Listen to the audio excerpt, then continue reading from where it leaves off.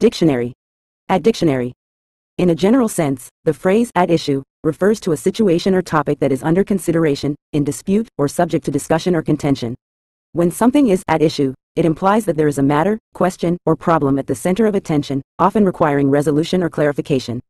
This can pertain to legal matters, disagreements, or broader issues in various contexts.